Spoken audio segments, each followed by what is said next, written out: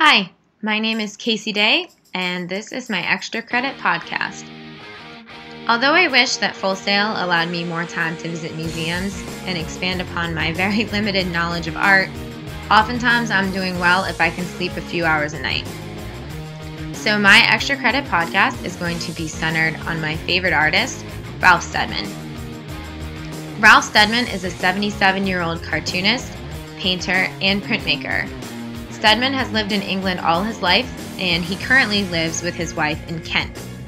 He has collaborated with one of my favorite authors, Hunter S. Thompson, in order to bring a set of unique illustrations to his book, Fear and Loathing in Las Vegas. In addition to this working relationship, he is also well known for his work with Rolling Stone magazine and the New York Times.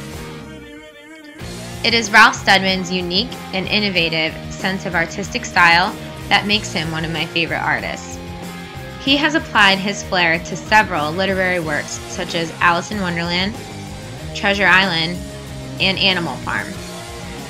He has also been known to lend his distinctive artistic hand to several prominent political magazines, beer and wine labels, as well as CD covers. I've always had a very distinct style of writing, which is the primary reason I feel that Ralph Steadman's work appeals to me.